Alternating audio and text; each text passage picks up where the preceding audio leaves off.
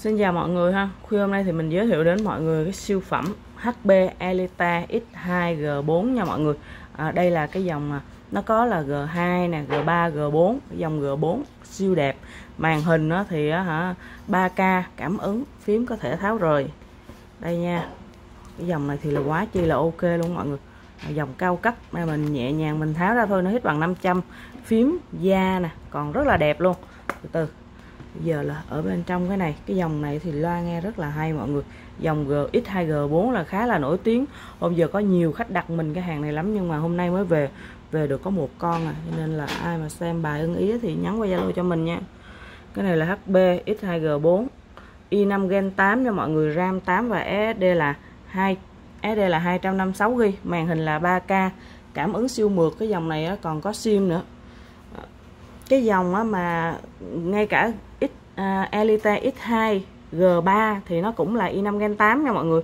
Nhưng mà đây là dòng G4 G4 là cái viền nó sẽ mỏng hơn. G3 nhìn rất là gọn đẹp đặc biệt loa nghe hay hơn mọi người. Và nhìn cái cái um, cái cái um, cái này là cái camera nó cũng lồi hơn trước nó cũng rõ hơn. Đó nói chung là ừ, dòng cứ mà model cao hơn thì nó sẽ nâng cấp hơn thôi. Cái phần này thì mình dựng đây và mình cho hít cái cái này để mình mình mình đây đây mọi người. Hít vô. Rồi đây nha. Thì khi mà mọi người mà mà muốn dựng lên cái laptop thì mọi người dựng thôi, còn không thì mình gặp lại rất ra như máy tính bảng, màn hình 3K ha. Và phím thì có led, mình có tặng cho mọi người dán phím quốc tế nữa, dán vào là vỏ kiểu quốc tế ok nha, có bút.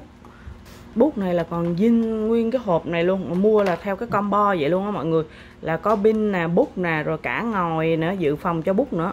Rồi cái dây đeo gì đó, nói chung là nguyên hộp như thế này luôn. Rất là chất lượng zin về luôn của máy bút là cảm ứng ok mượt mà nha mọi người. Đây nè ha. Đây nè. Và máy này là mình chết series cho mọi người luôn. Máy là được uh, sản xuất năm 2021 mọi người. Đây vì cái điện thoại của mình. Đây mọi người ha. Đây nè. Năm 2021 á, và còn bảo hành ờ, tới ờ, tháng 7 chắc còn bảo hành bữa nay tháng 3 còn bảo hành 4 tháng nữa tại Nhật.